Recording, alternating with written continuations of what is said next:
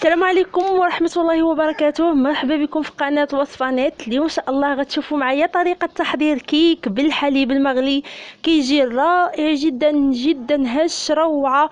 وغادي نحضروا معكم بثلاثة نكهات. كيك ثلاثة في واحد. ثلاثة نكهات في كيكة واحدة. كتجي هشيشة روعة ولا أروع مذاق. فمذاقات منسجمة. كتعطينا واحد مذاق رائع للكيك. كنتمنى من كل قلبي أنكم تجربوها. أكيد غادي تنال إعجابكم. كنخليكم الآن مع مراحل الفيديو وكنتمنى أنكم تتابعوا معي الفيديو للاخير بسم الله على بركة الله. بالنسبة للمكونات غادي نحتاجو قبصة من الملح أربع بيضات. كيسين من السكر بنكهة الفانيلا كل كيس يزن 7 غرامات. وعندنا هنايا كأس إلا ربع السكر كنقصوا من كمية السكر لأننا استعملنا السكر بنكهة الفانيلا. عندنا كأسين من الدقيق كيسين من خميرة الحلويات baking powder. آه، كل كيس يزن 8 غرام. في المجموع عندنا 16 غرام. عندنا كأس غير ممتلئ من الزيت وكأس غير ممتلئ من الحليب المغلي. هنا عندنا الحليب المغلي يعني كنخليه فوق النار حتى كيوصل درجة الغليان. فهنايا ساخن جدا إلى لاحظتوا فخروج البخار.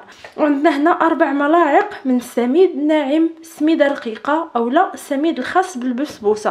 هادو هما المكونات. غادي ندوزو الآن على بركة الله للتحضير. فأول خطوة اللي غادي نديرو على بركة الله بالنسبة للبيض فطبعا راه مغسول. غادي نجيبو الإناء. فهاد الكيكة بدون خلاط يعني ما كنحتاجوش لا خلاط كهربائي ولا دراب كنوضعوا قبصة من الملح. من بعد هنايا أيضا هنا وضعت البيضة الأولى. يعني كنوضعوا كل بيض. يستحسن أنكم تستعملوا البيض بدرجة حرارة المطبخ. يعني ما تكونوش واضعينه من قبل في الثلاجه هكا باش كتجينا الكيكة آه، يعني تجي منفوخة وطالعة وناجحة أكثر من بعد غادي نضيفوا طبعا السكر. والسكر بنكهة الفانيلا. إذا كنضيفوا الكيس الأول والثاني باش هكا كتجينا لذيذة وكتجي النكهه ظاهره من بعد غادي ناخذ خلاط يدوي وكنحركوا السكر مع البيض جيدا حتى كيذوب لينا السكر. بسم الله.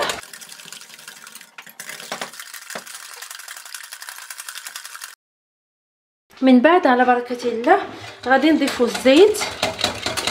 كذلك هو كنضيفوه على مراحل. غادي نحركو جيدا. ومن بعد كنضيفوا الحليب المغلي. ضروري أن الحليب يكون مغلي يعني وصل لدرجه الغليان بسم الله. فكنوضعوا كمية بكمية وحنا كنحركو باش ما يطيبش لينا هذاك البيض. من بعد غادي نضيف سميد ناعم. فصراحة كتجي رائعة حتى الرائحة كتجي ولا أروع. وغادي نضيف الآن الدقيق وبالنسبة للخميرة فغنضيفها في المرحلة الأخيرة. غادي نضيف الآن فقط الكأس الأول من الدقيق والكأس الثاني فغادي نخلطو مع الخميرة. بسم الله. الدقيق طبعا فهو مغربل اي منخول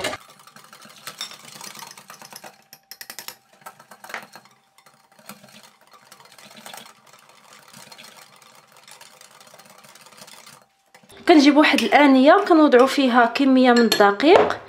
اللي كنضيفوا عليه الخميرة. بسم الله. الكيس الأول والثاني.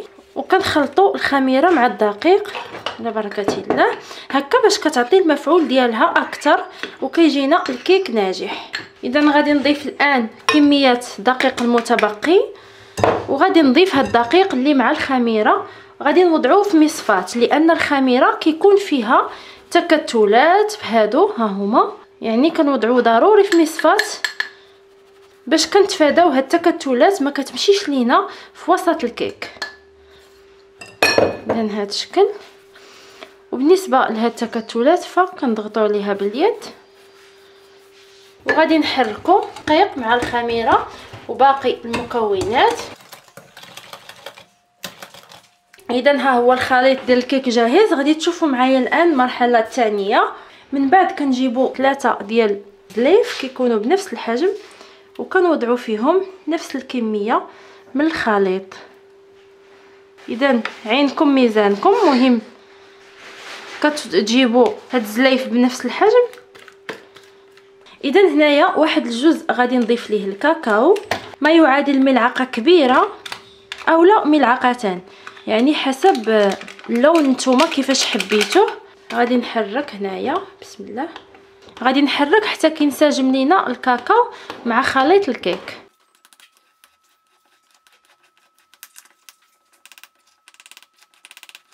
غادي نخليوه جانبا. غادي نجيبو الآن الجزء الثاني. غادي نضيف ليها القهوة سريعة الذوبان بسم الله. وغادي نضيف ليها الدقيق. يعني غنوضع هنايا ملعقتان. أولا ملعقة كبيرة. مهم نتوما التركيز على حسب اللي حبيتو. غادي نضيف ليها قطرات من الماء المغلي. فاش غادي ندوب هاد القهوة؟ إذا غنضيف خليط القهوة العجينه الثانية بسم الله. وغادي نضيف ليها الدقيق كما ذكرت لكم.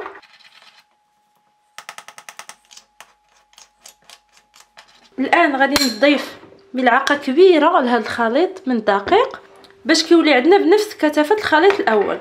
والخليط الثالث اللي هو عادي كذلك غادي نضيف ليه ملعقة من الدقيق لكن ما كتكونش ممتلئة بحال الملعقه اللي ضفت لخليط القهوة. اذا غادي نحرك.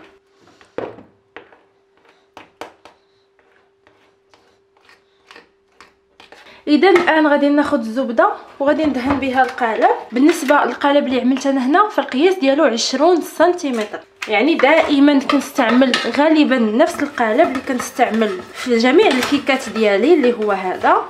اللي القياس ديالو متوسط كندهنو جيدا بالزبدة.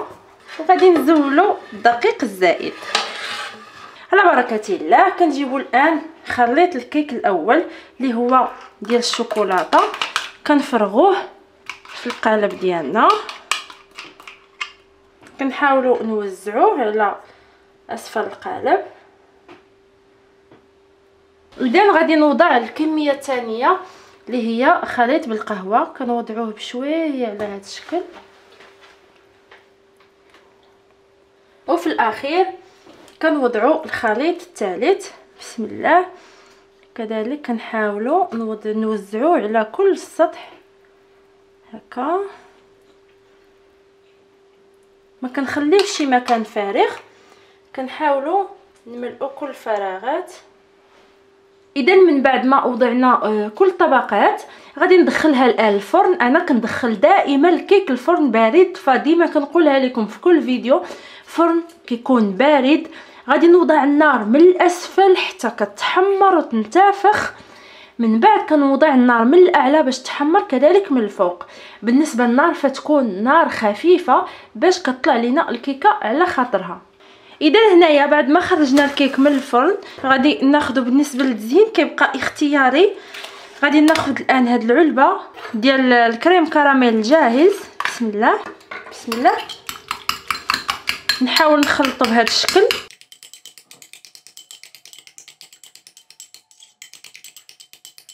من بعد على بركة الله غادي نزولوا الكيك من القالب غادي نوضعوها في صحن التقديم. من بعد غادي نوضعوا هاد الصلصة الجاهزة. غادي نوضعوها في الأعلى. نتوما ممكن تعملوا صلصة الشوكولاته كيبقى لكم اختيار زين لكن حاولوا نغيروا شوية على الطريقة المعتادة. غادي نحاول نوزعها على السطح. ممكن تعملوا علبة واحدة أو لا علبتان حسب الرغبة. اذا ها هي بعد ما وزعناها على السطح بهذا الشكل فغادي نعمل بواسطة الملعقة واحد الخطوط. هكا. من بعد غادي نجيب هنايا آه، لوز فيلي اولا كاوكاو فيلي المحمر. كنحمروه في مقلاة كنوضعوه في الجوانب. وهنايا غادي نوضع كذلك كمية قليلة في الوسط. وفي الأخير غادي نوضع قطعة وفي الأخير غادي نوضع قطعتين من الشوكولاتة. إذا متابعينا الكرام كيكون هذا هو الشكل النهائي ديال الكيك ديالنا. كيك رائع بالحليب المغلي وثلاثة نكهات مختلفة مجموعة في كيكة واحدة. كنتمنى من كل قلبي أنكم تجربوها. فكتجي لذيذه هشيشة رطبة وروعة في المذاق. جربوها خليوا لي رأيكم في التعليقات. نتلاقاو في فيديو قادم إن شاء الله. أستودعكم الله الذي لا تضيع ودائعه والسلام عليكم.